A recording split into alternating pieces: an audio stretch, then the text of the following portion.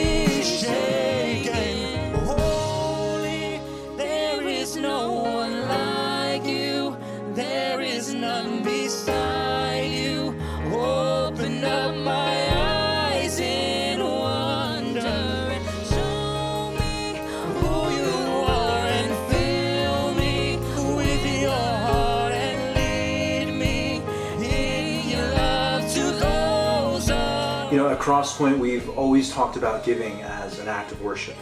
Matthew 6:21 says, "For where your treasure is, there your heart will also be." In giving joyfully, we are saying we are putting our trust in God. And so giving is an act of worship. At Crosspoint, we have different ways for you to worship through giving. You can visit us at www.crosspointri.org and click the Give button. Uh, you can download the. Uh, if you prefer to text, you can text your gift to 401 200 3034. 3034 Avenue, Newport, Rhode Island 02840. If you'd prefer to stop by the church and drop your gift off, you can do so using off. You can do so using the mail slot on the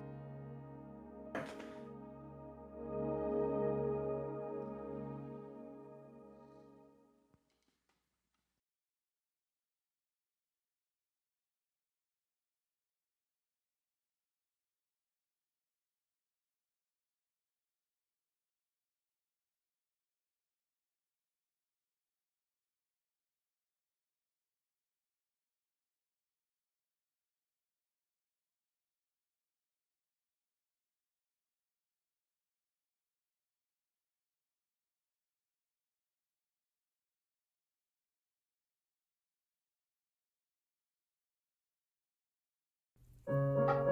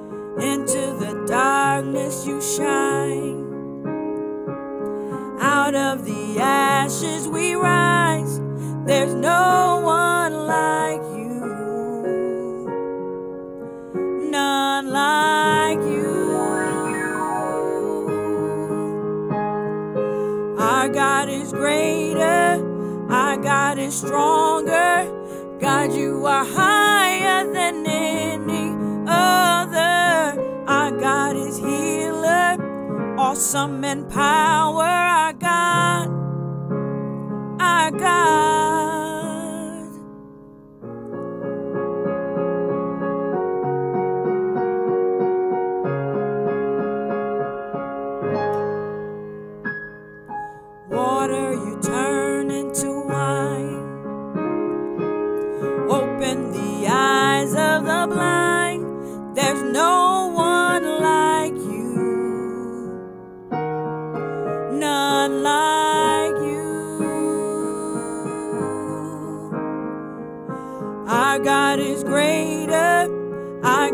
stronger. God, you are higher than any other. Our God is healer, awesome in power. Our God, our God, our God is greater. Our God is strong.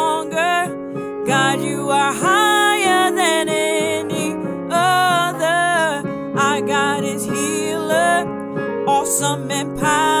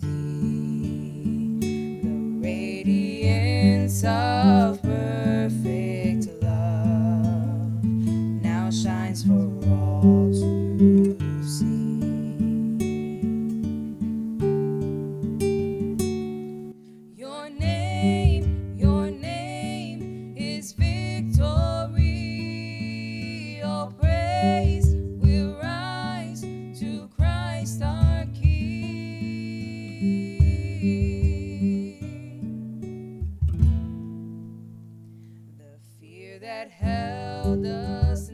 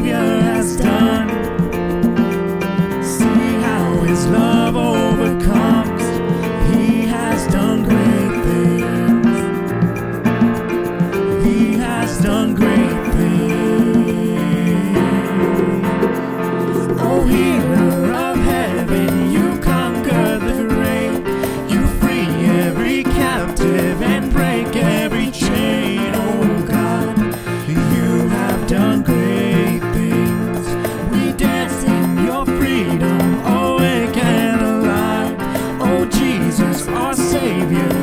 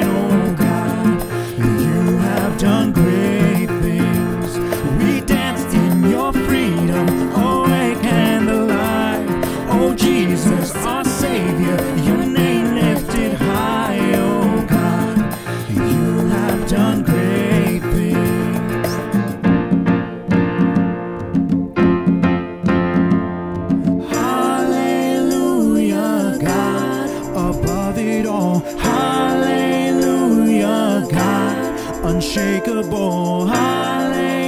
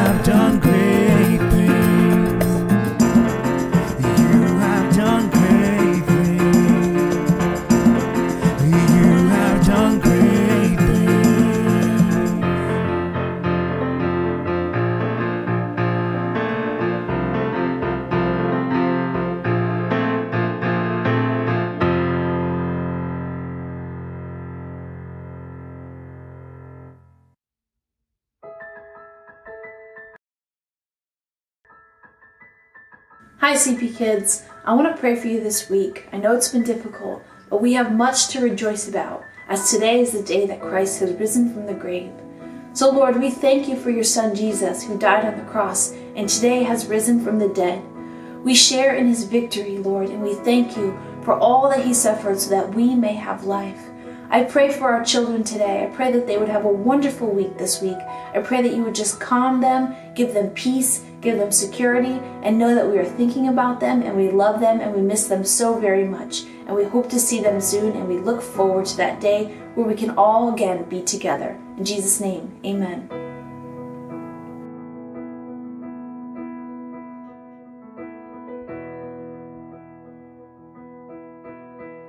Good morning.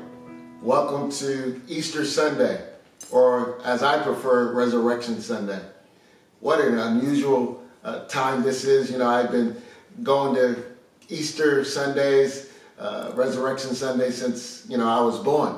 And one of the things that my family always did, we always dressed up on Easter Sunday. And, you know, this is very different and very unique and very unusual that we're not in the church together, that we're not fellowshipping together in a particular location. But the Bible reminds us that where there are two or three gathered in His name, uh, He's in the midst of us. And so Mary and I, we're here, we're praying, we're believing for you. You may be gathered around the computer, you may be gathered uh, with some friends and some family members. And we just want to say Happy Easter. We're praying and believing that God's best is uh, for you, is ahead of you, that He's releasing His angels uh, to watch over you as well. You know, as I think back uh, during my times of growing up in church, I, I always thought that Easter was this amazing time. We realized that, you know, a couple of days ago was Good Friday and that Jesus had died on the cross. And three days later, he's up out of the grave and he's giving hope to those who believe in him. And I, we just want to share uh, our hope and we want to share our faith with you on today during this resurrection Sunday. You know, when we think about uh, Resurrection Sunday, we realize that uh, the sacrifice that Jesus has done. He has he has given the ultimate sacrifice. He has gone to the cross. He has shed out his blood for all of mankind, for all of humanity. And here he is on Resurrection Sunday with all power, with all authority because he's conquered both death, hell, and the grave. All power is now given to our Savior, Jesus Christ. During this time, we are all rediscovering God. We're reconnecting with God in, in different ways that we've never had to reconnect with Him before. And I'm hoping that not only we're reconnecting with God, but we're rec- uh, reconnecting with others as well. And because we're not meeting in a physical location, we can be not only connected in the spirit, but we can also be connected through, you know, things like social media that keep us. Uh, in contact with one another. And I, I want to encourage you to stay connected to the body of Christ. It's, it's very easy to get disconnected in this time and, and believing and trusting God uh, for your life. You know, the other thing I discovered uh, during this time is that we are a very religious group of people. We go to church on Easter. Um, but maybe we haven't been relational enough. You know, we go in and out of the building, but now we're, we're realizing how important, how vitally important each and every one of us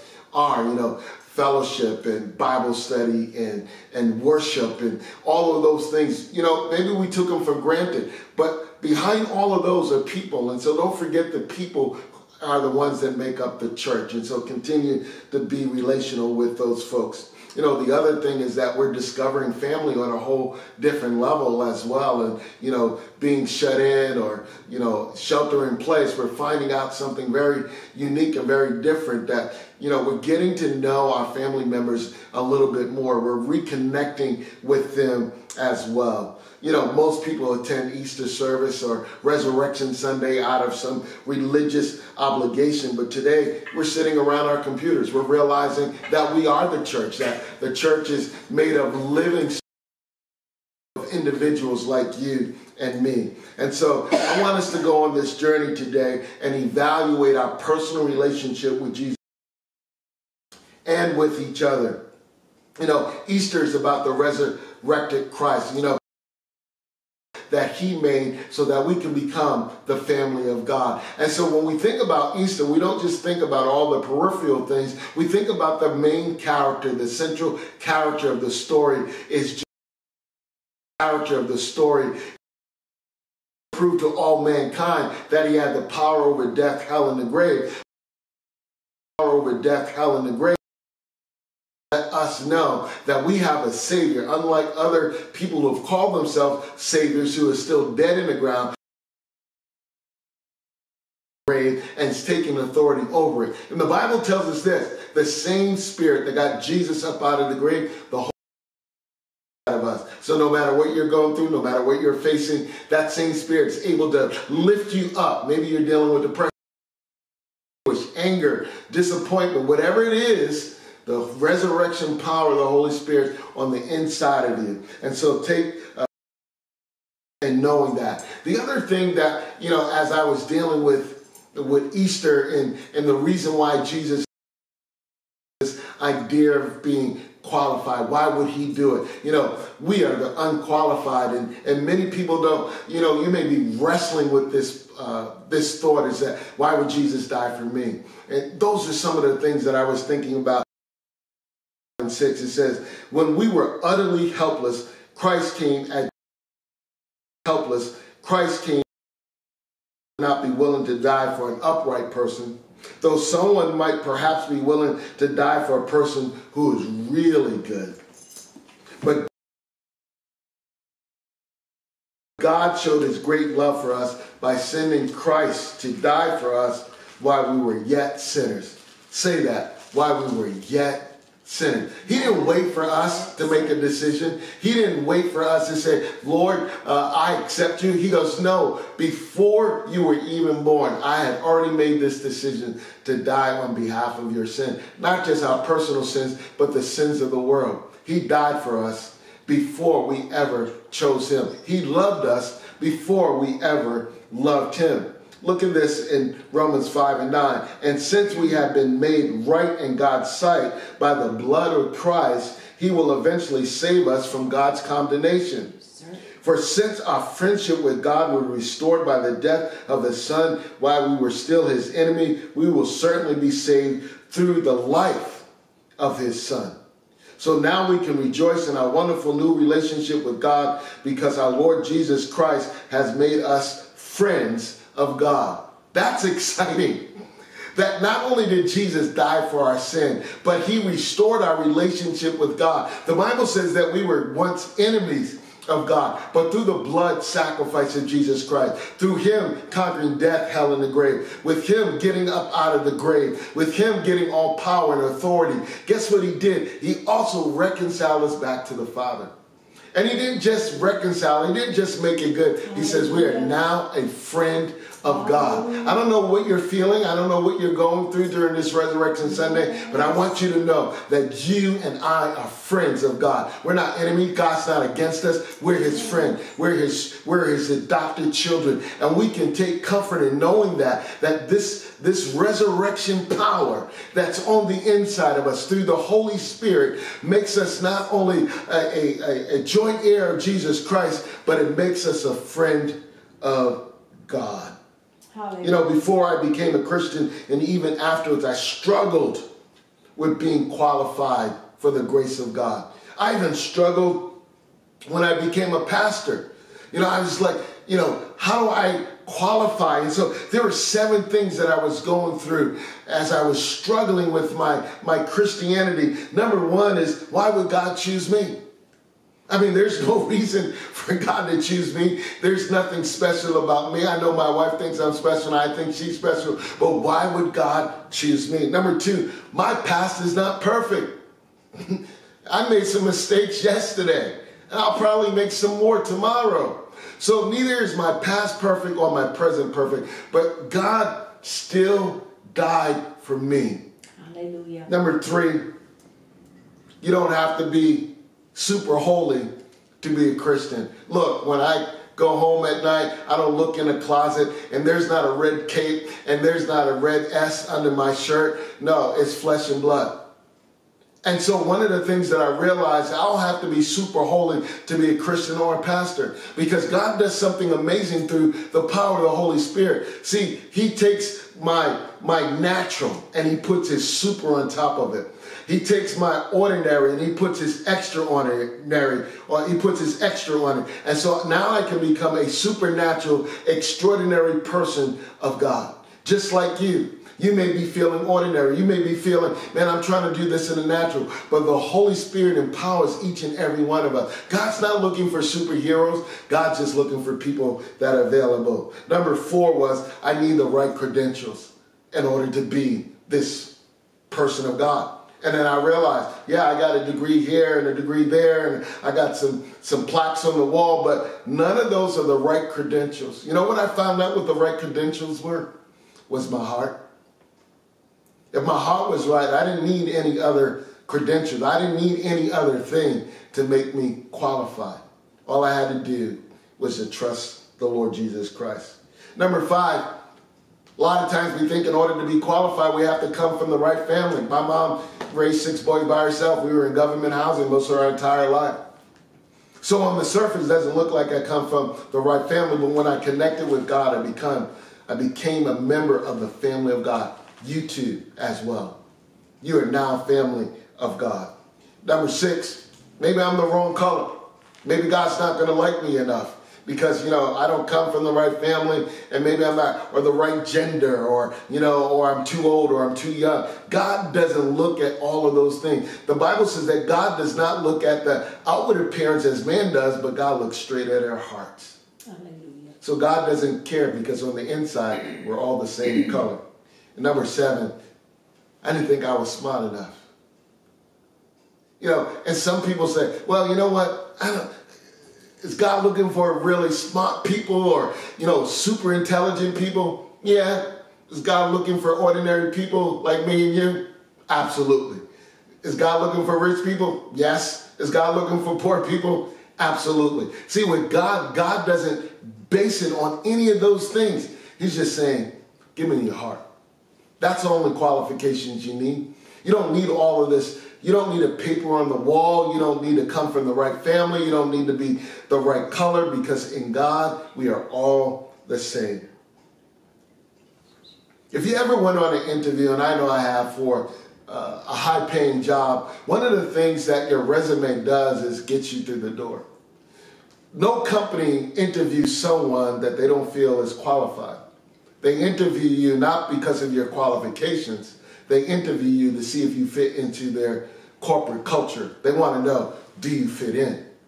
And if you have the right credentials and you have the right character and they feel like you fit in better than all the other candidates, then they hire you. But Jesus died for us while we were still unqualified, while we were still sinners and are still sinning. He still died for us. Here's something amazing Jesus didn't interview us first and then offer us salvation. He didn't say, okay, let me see if you qualify. Let me see if you got the right credentials. Let me see if you fit in this, this corporate culture called heaven. He didn't do any of those things. What he did was this. He said, I'm going to die for you whether you qualify for it or not. But the truth is, ladies and gentlemen, we could never qualify for it. That's why Jesus died on the cross for each and every one of us. That's what's amazing about Resurrection Sunday. That's what Easter's all about. Easter's all about God dying for the unqualified. It is a resurrection Sunday is about him getting out of the grave. It is about him giving us a down payment with his Holy Spirit. It is about him making promises to us that he's coming back for us as his sons and his daughters, as, as, as he is our elder brother, as he's at the right hand of the Father. And so he doesn't say, I need to interview you. I don't know if you come from the right. He died for you just the way you are. He never told us that we needed to be good enough. He never told us that we needed to come from the right family. Hallelujah. He just said, Will you accept me as your Lord and Savior? And I'll give you everything that you need. I'll give you my righteousness. I'll give you my goodness. I'll cover you with my blood.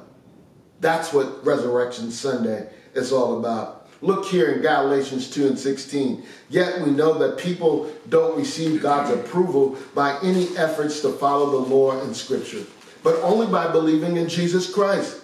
So we believe in Jesus in order to receive God's approval by faith in Christ and not by our own efforts. People won't receive God's approval by their own efforts. And that's what I was trying to do. There was a time in my Christian walk that, you know, I never, I didn't think that uh, what Jesus did was good enough. And, I- and I don't know if you can relate to what I'm saying, that I needed to help Jesus out some kind of way. I had to, you know, make sure that I, you know, did the right thing, that, uh, you know, I was, I was reading the word, uh, you know, 100 hours a week and I was praying and fasting. You know, my, my goal was to become like Jesus Jr. And all of that doesn't mean anything if it's not done with the right heart, without the right motive. You can't add or take away from what God's already done. See, I kept trying to add to my goodness and righteousness so that God would like me more. The truth is, is that God loved me regardless. Same thing with you. You may be struggling with your faith. You may be struggling with your Christianity and said, man, if I do a couple of more things, then perhaps God will like you more, like me more. The truth is, is He loves you. He can't love you any more than what He's already done by going to the cross, sharing, shedding His blood, and getting up out of the grave to prove to each and every one of us how much He loves and cares about us. Maybe you were like me, that one day, perhaps, if I do enough things, I will feel qualified or good enough to be in a relationship with Jesus. Look here in Philippians 3 and 9. It says, And being found in him, not having the righteousness of my own that comes from the law, but that which comes through faith in Christ, the righteousness from God that depends on faith, that I may know him and the power of his resurrection and may share his suffering, becoming like him in his death, that by any means possible I may attain resurrection from the dead. So, what does this mean to the average believer? It means this that our righteousness and our holiness comes from God. There's a word that you may not even have heard of. It's called imputed. And the imputed word of God is this is that God basically gives us his righteousness. He gives us his holiness. He says, look, our best days. He says, our our best days, our righteousness is as filthy rag. There's none good, Jesus told uh, uh, the man of God. He says, There's none. Why do you call me good? There's no good but God. He was saying this you don't have enough goodness to qualify. All of our goodness and righteousness comes from the Lord Jesus Christ. The most important thing I will say to you today is this Jesus paid the price for the unqualified to be qualified through his death on the cross. That's where that's where we get our righteousness. That's where we get our uh, holiness from. That's how we become qualified. It is through the death and the resurrection of Jesus Christ. It is because he buried our sins and then he rose up again and he's now seated at the right hand of the Father making intercession for us and he's coming back and he's coming back for us soon. So we need to get ready. This is what the gospel is all about. This is why the cross and resurrection are so important to every person on the planet. This is the good news that those who were unqualified now become qualified. 2 Corinthians 5 and 21 says this For our sake, he made him to be sin who knew no sin, so that in him we might become the righteousness of God. He gives us his righteousness, he gives us his authority, he gives us his power. He shares those things. You know, Madeleine L'Engle talks about being unqualified and says in a real in a very real sense none of us is qualified but it seems that god continually chooses the most unqualified to do his work to bear his glory. If we are qualified we tend to think we have done this job ourselves. If we are forced to accept hard evidence about our lack of qualification. There's no danger in that we would confuse god's work with our own or god's glory with our own our lack of qualification sets us up to be qualified by God. God doesn't need our qualification. God doesn't need our righteousness. He doesn't. All he needs from us is our yes. That's all he needs. That's all he's looking for. Your yes and your availability. I've just learned over the years. You know, someone said to me years ago, How do you know uh, how the Holy Spirit or when the Holy Spirit's speaking to you? And what do you do when you know the Holy Spirit? How do you, what does the Holy Spirit sound like? And I said to them, He sounds like yes. Yes to your will, Lord. Yes to your way. That's what the Holy Spirit sounds like to me, saying yes to the Word of God and allow the resurrection power of the Holy Spirit to continue to lead me and to guide me. The same with you. Learn how to say yes to God. Allow Him to lead you and allow Him to guide you.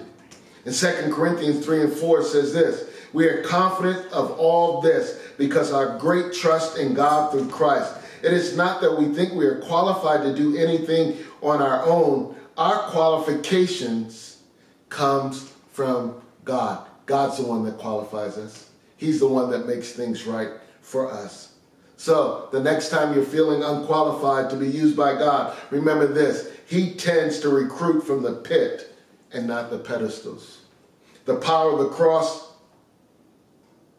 is what takes us and takes unqualified people like me and you and transforms us into the sons and daughters of the Most High.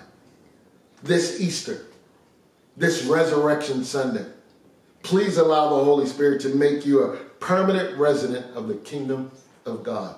We're discovering now more than ever. It's not about your membership or your church membership or your name or the church roll. It's about is your name written in the Lamb's book of life. This is an amazing time that we have.